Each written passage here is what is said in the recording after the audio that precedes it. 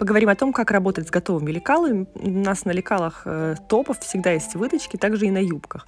Э, не разрезайте по линиям выточки, а делайте только надсечки по основанию, вот, под, вот так под углом. А также нужно отметить вот эту вершинку.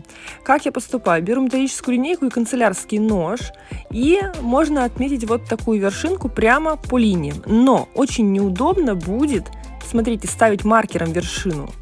Вы просто потом расковыряете эту дырку, и она у вас будет огромная. Поэтому я вырезаю большой треугольничек, видите, вот такой.